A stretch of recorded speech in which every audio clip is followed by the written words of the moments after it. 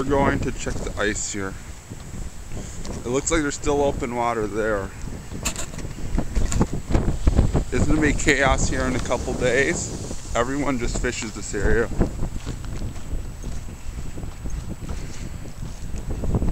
Let's see how much ice we have. Ooh, that does not look very good.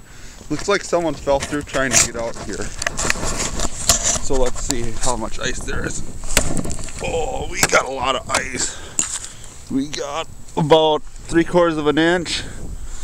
Nice. Almost time for chaos to begin. This needs to freeze up though.